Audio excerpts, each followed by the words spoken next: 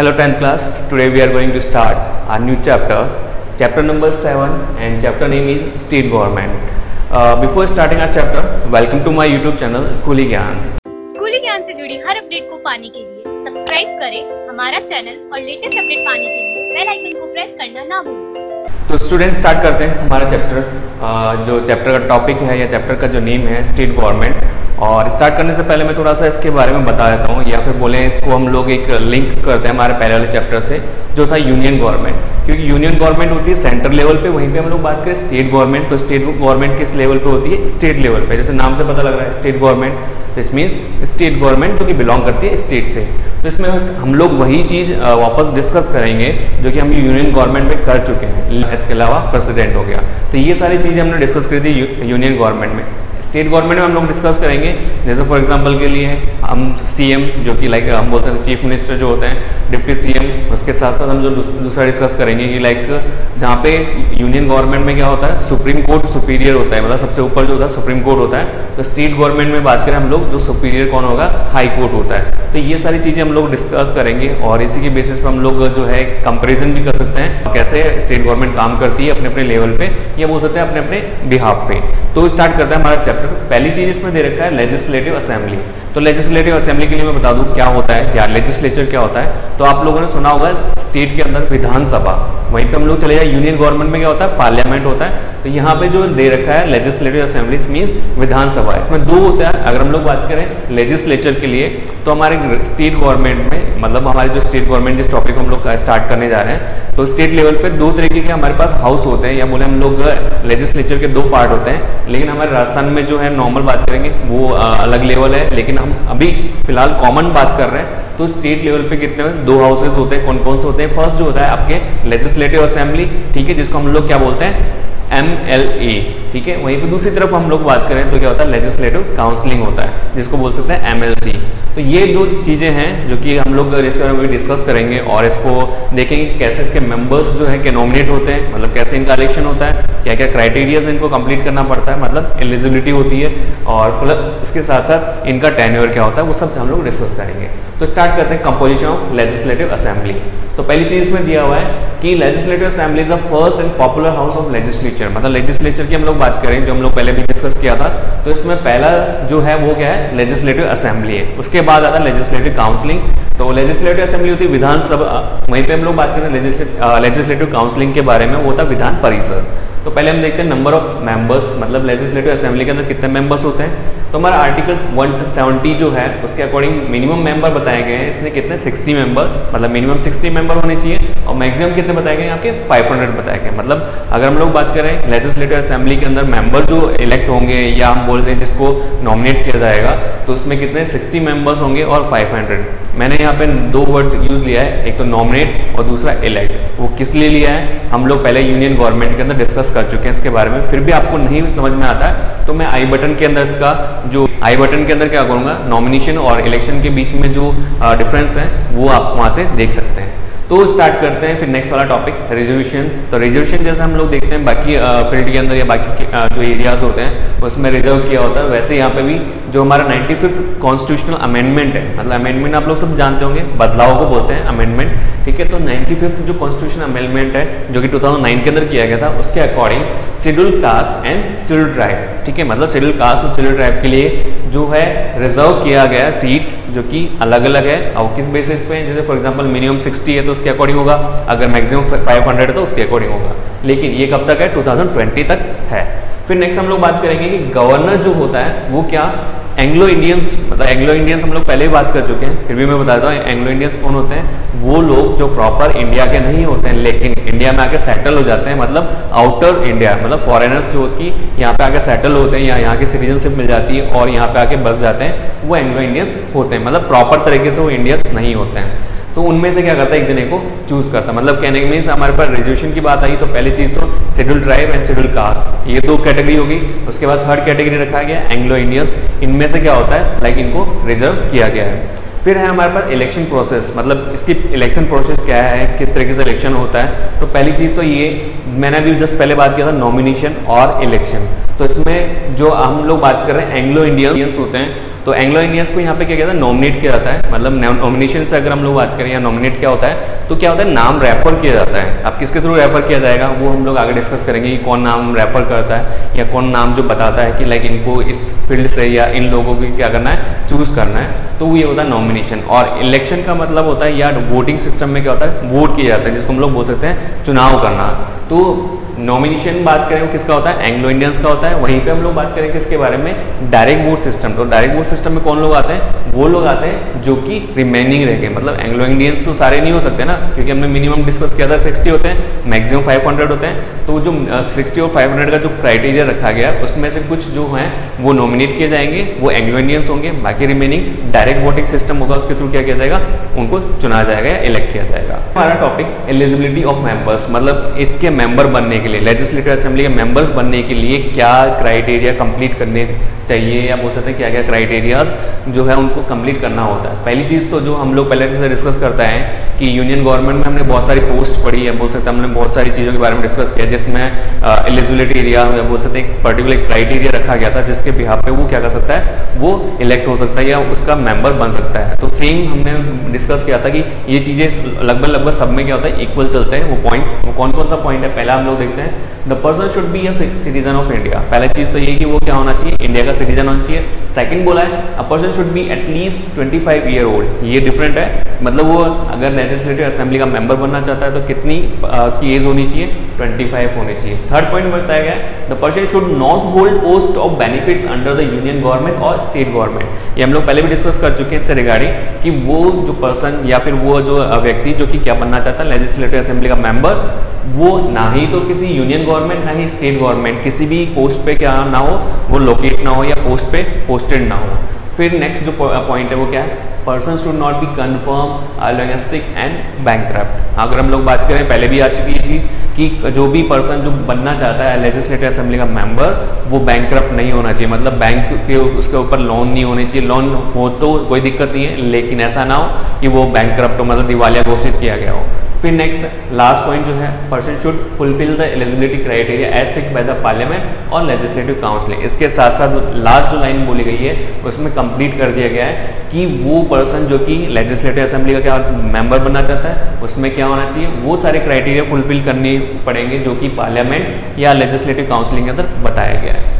फिर आता termination of membership जिसको हम लोग बोल सकते हैं एक तरह से उसकी पोस्ट से हटाना, कि वो कैसे उसकी मेंबरशिप उसकी टर्मिनेट कर दी जाती है, या कैसे किसी पर्सन को या लेजिस्लेटिव मेंबर को क्या टर्मिनेट किया जाएगा तो वो कुछ यहाँ पे क्राइटेरियाज रखे गए हैं। वो क्राइटेरिया कौन सा है? पहला termination of membership for both house of legislature can happen under any following condition अब कुछ कंडीशन नीचे बताई गई है, उसके बिहार पे उनका टर्मिनेट किया जा सकता है, या उनको उनकी पोस्ट से रिमूव किया जाएगी। तो देखते हैं first point if a person is elected both house of state legislature then he will have to resign from the either of the houses मतलब क्या होगा दोनों हाउस में से किसी का मेंबर बनता है तो उसमें से एक हाउस का क्या करना पड़ेगा उसे रिजाइन देना पड़ेगा मतलब कहने का मीन ये हो गया कि वो एक ही हाउस का मेंबर बन के रह सकता है दो दो का नहीं बन सकता फिर नेक्स्ट दिया गया इसी लाइन में a like person cannot be member of legislative assembly and the parliament at the same time आगे क्लियर कर दिया है किसका वो लेजिस्लेटिव असेंबली के साथ साथ पार्लियामेंट का मेंबर नहीं रह सकता। या तो पार्लियामेंट का मेंबर रहेगा या लेजिस्लेटिव असेंबली का। फिर नेक्स्ट टर्मिनेशन के लिए पॉइंट जो बताया गया वो क्या है? If a member remains absent from the session मतलब जो मीटिंग्स रखी जाती है, या जो सेशंस होते हैं, उन सेशन में अगर वो 16 डेज़ तक लगातार मतलब 60 दिन तक लगातार क्या होता है अपसेंट रहता है, वो भी बिना परमिशन के। मतलब अगर परमिशन लेके रह रहा है तो वही, कोई इशू नहीं है। लेकिन बिना परमिशन के अगर रह रहा है तो इस मीन्स को क्या कर दिया जाएगा, उसे टर्मिनेट कर दिया जाएगा उसकी पोस्ट से हटा दिया जाएगा। फिर आगे बात करें third point if a person loses the eligibility to be member even after the becoming a member of the house पहली चीज़ तो हम लोग पहले डिस्कस कर चुके हैं कि कौन कौन से क्राइटेरिया कंप्लीट होने चाहिए, तब वो मेंबर बनेगा। लेकिन सडनली क्या होता है कि जो एलिजिबिलिटी रखी गई है लेजिस्लेटिव असेंबली के मेंबर बनने के लिए, अगर वो क्या करता है, उसको ख़त्म हो जाती है, वो उसकी योग्यताएँ ख़त्म हो जाती है, बीच में वो क्या करता है, उसको कंप्लीट नहीं कर पाता है तो उस बेसिस पे क्या होगा, उसे टर्मिनेट कर दिया जाए। तो वहीं पे हम बात कर लेते हैं उसके टेन्योर या कार्यकाल की मतलब कब तक वो क्या कर सकता है, उस अपनी पोस्ट पे रह सकता है या कब तक उसको क्या बोल सकते हैं, अपनी पोस्ट पे वो काम कर सकता है। तो नॉर्मल जो टेन्योर होता है, किसी भी गवर्नमेंट का या किसी भी गवर्नमेंट जो एम्प्लॉय होता है स्पेशली हम लोग बात करें, जैसे फॉर एग्ज़ाम्पल लेजिस्लेटिव असेंबली हो गया, वहीं पर हम बात करें प्रेसिडेंट हो गया या सीएम हो गया या पीएम हो गया तो मोस्टली प्रॉबरली इनकी जो टेन्योर या कार्यकाल होता है, वो कितना होता है, पाँच साल का होता है। मतलब फाइव ईयर के लिए काम करती है। फाइव ईयर के बाद में अपना आप ये बोल सकते हैं, इनको लाइक तरह से वापस रिन्यूअल या तरह से वापस वही प्रोसेस होती है इलेक्शन वगैरह सारी चीज़ें होना। तो इसका भी टेन्योर कितना है? फाइव ईयर है। लेकिन ऐसा नहीं है कि फाइव ईयर अगर रखा गया है तो फाइव ईयर के बाद क्या होगा? इससे पहले इसको क्या? रिमूव नहीं किया जा सकता। ऐसा कुछ भी कहीं पे भी ऐसा नहीं लिखा हुआ। अगर वो सही से काम नहीं करता तो बिफोर फाइव ईयर क्या कर सकता है? उसे टर्मिनेट किया जा सकता है। और किस बेसिस पे होगा? वो हम लोग डिस्कस करेंगे आगे। फिर आगे हम बात करेंगे power and function of speaker क्योंकि अगर हम लोग पहले डिस्कस कर भी चुके हैं कि जब भी किसी पर्टिकुलर लेजिस्लेटिव असेंबली की बात करें, चाहे हम लोग लेजिस्लेटिव काउंसलिंग की बात करें या हम पार्लियामेंट की बात करें, कहीं की बात करें तो वहाँ का हेड होता है। तो यहाँ पे जो लेजिस्लेटिव असेंबली जो होती है, उसका हेड जो होता है स्पीकर और डिप्टी स्पीकर होता है। जैसे फॉर एग्जांपल हम बात करें स्टेट पे क्या होता है लाइक सीएम डिप्टी सीएम होता है तो वैसे यहाँ पे इसका जो हेड होता है लेजिस्लेटिव असेंबली का वो कौन होता है स्पीकर और डिप्टी स्पीकर होता है। तो इसमें जो स्पीकर की जो पावर है मतलब क्या वो उसकी पावर है क्या क्या फ़ंक्शंस है मतलब वो क्या क्या काम उसके अंडर में आते हैं, या वो कौन कौन सी पावर्स यूज़ कर सकता है, वो हम लोग डिस्कस करते हैं पहले। तो following are the power of functions of the speaker मतलब यहाँ पे जो पावर्स दी गई है स्पीकर्स की कौन कौन सी? पहली तो बोला है कि preside over the session of legislative assembly मतलब पहले अगर हम लोग बात करें, क्योंकि हमने क्या डिस्कस किया था कि लेजिस्लेटिव असेंबली का क्या होता है? हेड होता है। तो उसकी जो सेशंस होंगे, जितनी मीटिंग्स वगैरह होगी, उसको अरेंज करवाने का किसका काम होता है? स्पेशली हम बात करेंगे स्पीकर की। फिर आगे क्या बोला? Conduct the proceeding of the house इसके साथ साथ जब वो असेंबली या सेशन स्टार्ट हो जाता है तो उसको प्रोसीड करना या उसको कंटिन्यू रखना, उसका वो भी किसका काम होता है? स्पीकर का होता है। फिर सेकंड जो पावर बताया गया he responsible for carrying the peace and the discipline in the house can take a necessary action to ensure that कई कई बार क्या होता है, जैसे कि असेंबली के अंदर जैसे नॉर्मल देखा होगा, आप लोगों ने स्कूल के स्कूल में भी असेंबली के अंदर क्या होता है, बच्चे बातें करने स्टार्ट कर देते हैं, या आपस में जो है एक तरह से टॉकिंग करना स्टार्ट करते हैं तो वहाँ पर भी क्या होता है, ऐसा ही कुछ होता है। मतलब बातें नहीं करते आपस में, कई बार होता है कि लाइक किसी बिल को लेके, किसी पर्टिकुलर डिस्प्यूट को लेके दो पार्टीज़ आपस में क्या होती है, लड़ाई कर लेती है या बोल सकते हैं उनके बीच में फाइट्स हो जाती है, वो एज अ, बोल सकते हैं टॉकिंग वे में, जिसको बोल सकते हैं बात करने के हिसाब से जो लड़ाई होती है, वो हो जाती है। और कई बार हो सकता है फिजिकली भी हो जाती है मतलब फ़िज़िकल फाइट भी हो जाती है। तो उस बेसिस पे उसको उस सेशन में या बोल सकते हैं उस ऑल ओवर हाउस के अंदर क्या करना पीस बना के मतलब शांति बना के रखना, इसके साथ साथ डिसिप्लिन बना के रखने का काम भी किसका है, हम लोग बोलेंगे स्पीकर का। फिर नेक्स्ट बोला गया है इसमें a member of house can speak in the house only after the his permission मतलब नेक्स्ट पॉइंट क्या बोला गया है? अगर उस हाउस में जो भी मेंबर बैठा है मतलब लेजिस्लेटिव असेंबली का जो भी मेंबर है, अगर उसे कुछ बोलना है, जैसे फॉर एग्जांपल आपको क्लास में कुछ बोलना होता है, या क्लास में आप कुछ भी टीचर के सामने बात रखना चाहते हो तो उससे पहले परमिशन लेते हो तो सेम वहाँ पर भी क्या होता है कि स्पीकर की से परमिशन लेनी पड़ती है, उस हाउस में कुछ भी बोलना है, या कोई भी टॉपिक या बिल के ऊपर कुछ भी इश्यूज़ वगैरह हैं, उससे रिलेटेड फिर नेक्स्ट है he can expose those remarks from the proceeding of the house which are consider to be unparliamentary on uncivilise मतलब वो उन चीज़ों के लिए क्या कर सकता है, रोक सकता है, या बोल सकते हैं उन चीज़ों को बाउंड कर सकता है, जो कि क्या है अनपार्लियामेंट्री है या अनसिविलाइज मतलब कहने में सही तरीके से संसद या हम लोग बोले, हमारे जो पार्लियामेंट मतलब जो संसद है, उसके अकॉर्डिंग नहीं है। कहने मीन्स उसके बिहार पे या उसके अंडर में नहीं आती है तो उसको क्या कर सकता है, वो रोक सकता है। फिर नेक्स्ट बोला गया है he can decide the sequence of the negotiation of the house on the advice of leader of the houses मतलब किसी चीज़ को नेगोशिएट करना, वो किस पे? स्पीकर पर डिपेंड करता है। लेकिन किसकी एडवाइस पे? Advice of leader of house उस हाउस के लीडर जो है, उसके बिहाफ पे। फिर नेक्स्ट है he can accept the question और reject them if they are the against the rule अगर कोई रूल के अगेंस्ट कोई भी क्वेश्चन पूछे गए हैं, कोई भी क्वेश्चन या बोल सकते हैं, कोई भी प्रश्न पूछे जाते हैं तो उस रूल को या उन क्वेश्चन को क्या कर सकता है, वो रिजेक्ट कर सकता है। कहने का मीन्स ये किसके अंडर में आता है? स्पीकर के अंडर में। नेक्स्ट जो पॉइंट है हमारा क्या है? He announce the result after the voting मान लो कोई बिल है बिल रखा गया उस हाउस के अंदर बोल सकते हैं पर्टिकुलर सदन के अंदर तो क्या होगा? अगर वोटिंग होती है उसके ऊपर तो उसका फाइनल रिज़ल्ट सुनाने का काम किसका होता है? स्पीकर का होता है। फिर नेक्स्ट है he does not participate in the voting in the normal circumstances अब क्योंकि वोटिंग हो गई तो उस टाइम पे जो स्पीकर जो होता है ना, कभी भी वोटिंग में पार्टिसिपेट नहीं करता है। इन केस इन केस कौन सा? कि अगर जो बिल रखा गया है या जो सदन के अंदर बिल आया है, उस बिल पे क्या होता है इक्वल जिसको बोलते हैं टाई मतलब इक्वल वोट होते हैं दोनों पार्टी की तरफ़ से तो उस बेसिस पे फाइनल जो वोट होगा ना, या एक तरह से बोले हम लोग फाइनलाइज जो वोटिंग जो दी जाएगी, वो किसके थ्रू दी जाएगी? स्पीकर के थ्रू जिसके फेवर में वो होगा तो वो बिल अगर पास के फेवर में है तो वो पास हो जाएगा। अगर उसके पास के फेवर में नहीं है तो वो पास नहीं होगा। Speaker decide if a bill is a money bill और नॉट मतलब स्पीकर डिसाइड करता है लेजिस्लेटिव असेंबली का कि कोई बिल मनी बिल है या नहीं है। मनी बिल मतलब जिसमें हम लोग बजट से रिलेटेड बात करते हैं। स्पेशली उसके लिए बोलेंगे हम लोग। ओके लास्ट लाइन है। He gives the judgement on the petitions regarding the defections मतलब वो सारी चीज़ें पटिशन जो कि लाइक हाउस uh, में रखी जाएगी या बोले हम लोग उस सदन में रखी जाती है उस पर डिसीज़न लेना भी या बोल सकते हैं उसके ऊपर uh, निर्णय लेना भी किसके अंडर में आता है? स्पीकर के अंडर में आता है। अगर आपको इस लास्ट वाले पॉइंट को समझ में नहीं आया हो क्योंकि मे भी हो सकता है क्योंकि किसी को कन्फ्यूज़ होगा कि हमें पिटिशन क्या होता है तो वो मैं आपको जो है कमेंट बॉक्स में आप कमेंट करके पूछ सकते हैं। और फिर भी आपको नहीं लग रहा है कि ऐसा कि लाइक थोड़ा और एक्सप्लेन करके बताना है तो भी आप मुझे कमेंट करके कमेंट बॉक्स में बता सकते हैं।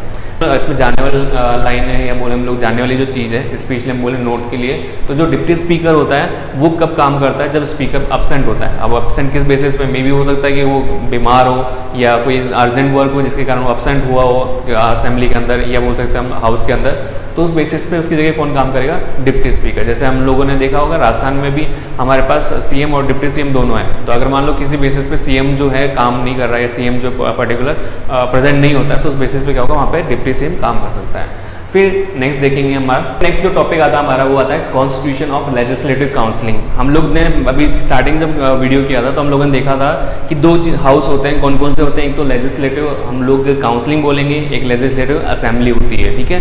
तो जिसको एमएलए और एमएलसी हम लोग आज तक जो सुनते हैं ना कि एमएलए इसकी फुल फॉर्म क्या होता है? मेंबर ऑफ़ लेजिस्लेटिव असेंबली और एमएलसी मतलब मेंबर ऑफ़ लेजिस्लेटिव काउंसलिंग तो अभी तक हमने जो डिस्कस किया, वो एमएलए के बारे में किया था, या बोल सकते हैं मेंबर ऑफ़ लेजिस्लेटिव असेंबली बारे में अब जो डिस्कस करेंगे हम लोग लेजिस्लेटिव काउंसलिंग के बारे में तो इस इसमें भी सेम ऑलमोस्ट जो है सेम प्रोसेस होती है।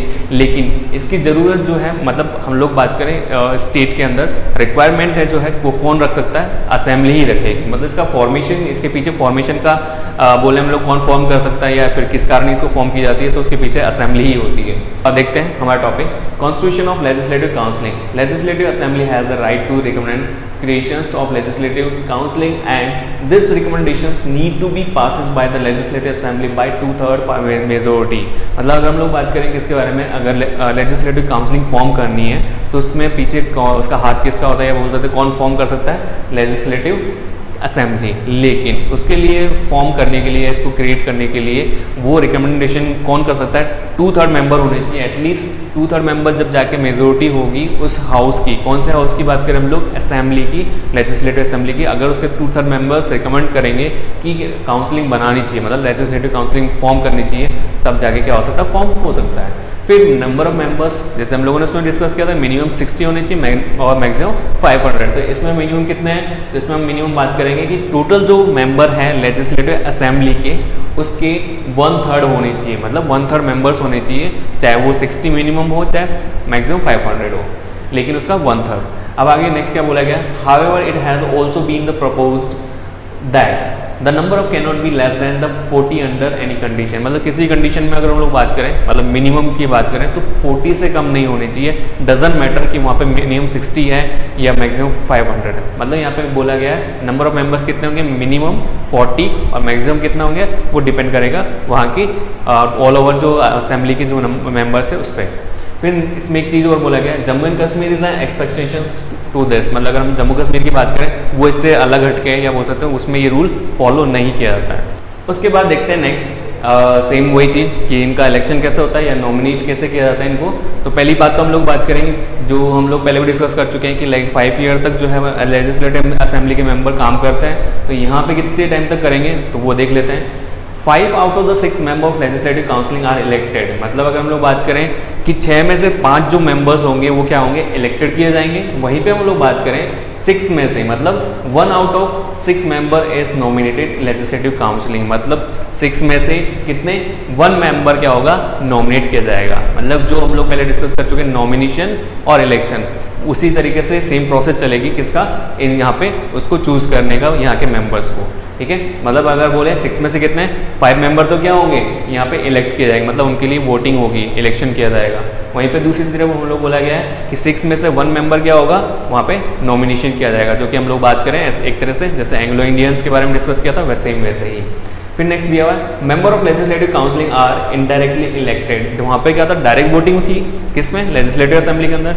यहाँ पे काउंसलिंग के अंदर क्या होगा? इनडायरेक्ट वोटिंग होती है। अब इनडायरेक्ट वोटिंग क्या होती है? ये हम लोग यूनियन गवर्नमेंट के अंदर डिस्कस कर चुके हैं। फिर भी हम लोग एक बार जो है यहाँ पर देख लेना। और अगर फिर भी आपको प्रॉब्लम हो, कोई इश्यूज़ हो तो मैं आई बटन के अंदर इसका लिंक दे दूँगा कि इनडायरेक्ट वोटिंग कैसे होती है। क्योंकि इसमें एक पर्टिकुलर आगे वर्ड आएगा जैसे इसमें दे रखा है। This election happen the through single transferable voting method ये हम लोग पहले डिस्कस कर चुके हैं। सिंगल ट्रांसफरेबल कौन सा? वोटिंग मेथड ये भी हम लोग जो है पहले देख चुके हैं। तो अगर फिर भी इसमें कोई आपको इश्यूज़ वगैरह हो तो आप कमेंट बॉक्स में कमेंट करके बता सकते हैं। प्रोपोर्शनल रिप्रेजेंटेशन सिस्टम तो ये पूरा एक आ, ये पूरा एक सिस्टम है जिसके बिहार पे वोटिंग की जाती है जिसको हम बोल सकते हैं इनडायरेक्ट वोटिंग जो कि स्पेशली किसकी होती है? काउंसलिंग की जिसको हम लोग बोल सकते हैं लेजिस्लेटिव काउंसलिंग अब आता है यहाँ पे क्या?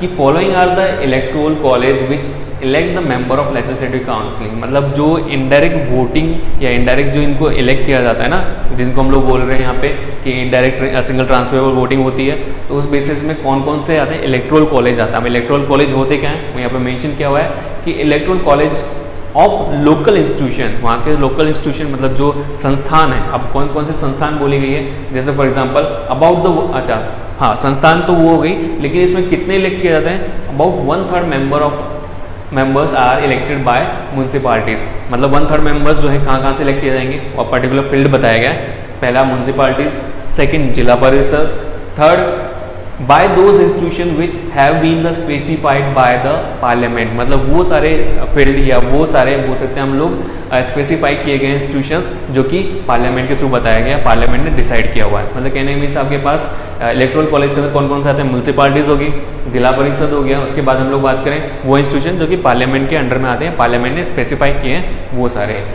फिर देखते हैं last Electoral College of Legislative Assembly, about one third members are elected by members of Legislative Assembly. तो मतलब अगर हम लोग बात करें इलेक्ट्रल जो कॉलेज होंगे स्पेशली हम लोग जो डिस्कस कर चुके हैं इलेक्ट्रल कॉलेज कौन से होते हैं तो उसमें लेजिस्लेटिव असेंबली के अंदर वो वन थर्ड पार्ट क्या होंगे इलेक्टेड किए जाएँगे, या बोल सकते हैं उनका इलेक्शन होगा, जो कि हम मेथड पढ़ चुके हैं कौन सा method single transferable voting system या मेथड बोल सकते हैं जिसको। उसके भी यहाँ पे वन थर्ड मेंबर्स क्या होंगे इलेक्ट किए जाएँगे, कहाँ से? लेजिस्लेटिव असेंबली के अंदर से। मतलब जो ऑल ओवर क्योंकि ये पार्ट इनडायरेक्टली बोलें तो किसका है? लेजिस्लेटिव असेंबली का ही है, लेकिन इसके मेंबर्स अलग से काम करेंगे on the behalf of legislative assembly ये देखते हैं कि लाइक इलेक्ट्रोल कॉलेज स्पेशली क्या क्या वो है या एक तरह से क्या मीन्स है इसका, वो देख लेते हैं। तो इलेक्ट्रल कॉलेज का मीन्स एक तरह से वो सारे कॉलेजेस मतलब नॉर्मल जो कॉलेज होते हैं, उन्हें इलेक्ट्रल कॉलेज बोला जाता है। इलेक्ट्रल कॉलेज क्यों बोला गया है? बिकॉज़ उन कॉलेजेस में से क्या होता है? इलेक्ट किया जाता है किनको? काउंसलिंग मेंबर्स को। मतलब जो लेजिस्लेटिव काउंसलिंग होती है, इसलिए इनको क्या बोल दिया गया? इलेक्ट्रल कॉलेज बोल दिया गया या इलेक्ट्रल इंस्टीट्यूशन बोल दिया गया अब इसमें एक चीज़ बोली गई है कि लाइक कैसे वो मेंबर्स इलेक्ट किए जाते हैं, जो कि कॉलेजेस में होते हैं। पहली चीज़ तो ये कि बात हो गई कॉलेज की तो इस मीन्स वो ग्रेजुएट होने चाहिए। वो पर्सन जिनको इलेक्ट किया जाएगा या जिनको बोल सकते हैं असेंबली का मेंबर बनाया जाएगा काउंसलिंग के मेंबर्स बनेंगे उन लोगों के लिए, ठीक है? तो पहली चीज़ तो वो ग्रेजुएशन मतलब ग्रेजुएट कंप्लीट किए होने चाहिए। दूसरी चीज़ बोला गया है कि जो ग्रेजुएशन जो होना था, वो भी थ्री लेवल जो थ्री ईयर का एग्जामिनेशन होता है मतलब first year second year third year होता है, उस बेसिस पे क्या होना चाहिए? उनका ग्रेजुएशन कंप्लीट होना चाहिए।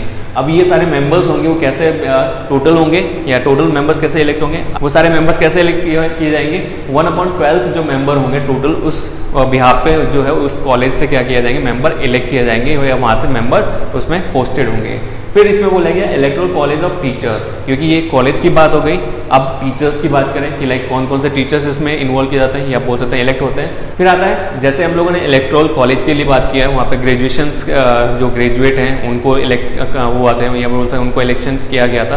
तो यहाँ पे सेम स्कूल में जो होता है, उसमें भी सेम यही प्रोसेस होता है। या बोले electoral college of school teacher या टीचर्स के लिए। तो इसमें क्या होता है, उन लोगों को इलेक्ट किया जाता है जो स्पेशली जिन्होंने तीन साल तक मतलब तीन साल तक वो क्या कर रहे हैं, उस स्कूल के अंदर या उस कॉलेज के अंदर क्या कर रहे हैं टीच कर रहे हैं मतलब पढ़ा रहे हैं। उसके बाद नेक्स्ट बोला गया है कि वो लोग जो कि लाइक इलेक्ट किए जाएँगे, वो टोटल कितने होंगे? वन अपॉइंट ट्वेल्व मेंबर होंगे वन अपॉइंट ट्वेल्व जो मेंबर्स उसमें से इलेक्ट किए जाएँगे। लेकिन इसमें एक चीज़ जो इसमें मेंशन की हुई है स्पेशली मैं बताना चाहूँगा, वो ये कि ये सारे, चाहे वो कॉलेज से इलेक्ट किए जाएँ, चाहे स्कूल से इलेक्ट किए जाएँ सारे सारे उस स्टेट के स्कूल या कॉलेज के मेंबर्स होने चाहिए, या बोल सकते हैं वहाँ के एक तरह से लोकल सिटीजन होने चाहिए उस स्टेट के। तभी क्या होगा, वो किसके? काउंसलिंग के मेंबर्स बन सकते हैं। फिर नेक्स्ट लास्ट बोला गया है members nominated by the governor अब कौन से मेंबर्स ऐसे हैं जो गवर्नर या हमारे राज्यपाल जो होते हैं नॉमिनेट करता है? अब वो कौन कौन से हैं? The nomination of one upon six जो टोटल जो नॉमिनेशन होगा, वो कितना होगा? वन अपॉन सिक्स मेंबर्स होंगे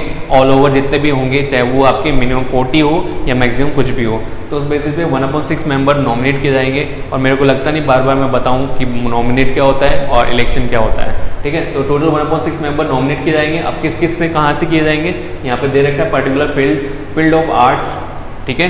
लिटरेचर साइंस कोऑपरेटिव और सोशल सर्विस ये पर्टिकुलर आपके फ़ील्ड दिए गए हैं जहाँ से नॉमिनेट कर सकता है गवर्नर फिर आता है एलिजिबिलिटी ऑफ़ फॉर मेंबर्स मतलब कौन कौन से क्राइटेरिया कंप्लीट करेंगे, जब जाके क्या बनेगा? लेजिस्लेटिव काउंसिलिंग का मेंबर बन सकते हैं। तो पहली चीज़ तो यहाँ पर दिया है eligibility criteria for legislative counselling are same as for membership of legislative assembly ये हम लोग पहले देख पढ़ चुके हैं कि वही सेम क्राइटेरिया होगा जो कि लेजिस्लेटिव असेंबली के अंदर हमने पढ़ा था। जैसे बेसिक चीज़ बताया था कि पहली चीज़ तो इंडियन सिटीजन होना चाहिए बैंक नहीं होना चाहिए। वो दोनों हाउस में से किसी एक का मेंबर हो, ना कि दोनों का हो। ठीक है? अब आगे इसमें कुछ डिफरेंट जो बताया गया, वो क्या है? एज के बारे में, वहाँ 25 एज थी, यहाँ कितनी है? 30 है। यही डिफरेंस दोनों के बीच में, बाकी क्राइटेरिया जो है एलिजिबिलिटी का, वो क्या होगा? सेम होगा। इसके अलावा moreover the candidate should be listed voter in that state एक ये जो स्पेशल आप बोल सकते हैं क्वालिफिकेशन बताइए, वो क्या बताइए? कि वो जिस स्टेट में रहता है उस के स्टेट के अंदर जो भी वोटिंग लिस्ट है, उसमें उसका नाम होना चाहिए। ऐसा नहीं कि वोटिंग लिस्ट में नाम है नहीं, और बनने चल दिए हम लोग लेजिस्लेटिव काउंसिलिंग के मेंबर अब ten year ten year normal मैंने बताया था नॉर्मल हर गवर्नमेंट का कितना होता है? फाइव ईयर होता है, या हर पोस्ट का कितना होता है? फाइव ईयर तो इसका देख लेते हैं। The ten year of the member of legislative council is six year ठीक है? यहाँ पे कितना है? Six year a one year ज़्यादा है, अब क्यों है, या किस बेसिस पे, वो देख लेते हैं। Two third of the members retire after every two years वहाँ पे क्या था? फाइव ईयर के बाद रिटायर हो जाते हैं सब लोग। यहाँ पे क्या होता है? टू थर्ड मेंबर्स रिटायर होंगे हर दो साल के बाद में। मतलब अगर छः साल है तो इस मीन्स टोटल कितने? तीन बार रिटायरमेंट होगा, लेकिन वहाँ रिटायरमेंट के बाद क्या होगा? उनके जगह नए मेंबर्स आ जाएँगे। ऐसा नहीं कि सारी सारी लेजिस्लेटिव काउंसलिंग जो है, वो क्या होगी? डिजोल्व हो जाएगी, या बोल सकता है रिटायर हो जाएगी। यहाँ पे क्या होगा? हर दो साल बाद में टू थर्ड क्या होता है? रिटायर होते हैं, और उसी जगह वापस टू थर्ड क्या होते हैं? इलेक्ट कर लिए जाते हैं, या नॉमिनेट कर लिए जाते हैं। अब आता है ऑफिशियल्स तो ऑफिशियल्स के बारे में बात करें कि लाइक वहाँ पे कौन था उसका हेड किसका? लेजिस्लेटिव असेंबली का स्पीकर और डिप्टी स्पीकर यहाँ पे ऑफिशियल्स मैं इसका हेड कौन है? The member elect a speaker और deputy speaker from among them ये भी सेम हम वैसे ही पढ़ रहे हैं, जैसे असेंबली में पढ़ा था कि यहाँ पे भी हेड कौन होता है? स्पीकर और डिप्टी स्पीकर होता है। फिर वहाँ पे नेक्स्ट बात करें legislative counselling has the right to remove them from the their post मतलब लेजिस्लेटिव जो काउंसलिंग होती है, उनके पास क्या होता है? पोस्ट जो पर्टिकुलर स्पीकर और डिप्टी स्पीकर की बात कर रहे हैं, वहाँ से रिमूव करने को उनको, उनके पास राइट होता है अधिकार होता है, जिसके बिहार पे हम लोग आगे पहले भी डिस्कस कर चुके हैं लेजिस्लेटिव असेंबली के बेसिस पे। तो स्टूडेंट अभी के लिए इतना ही, बाकी करवाएँगे हम लोग नेक्स्ट वाली वीडियो में। Please student subscribe my channel and like share also and thank you very much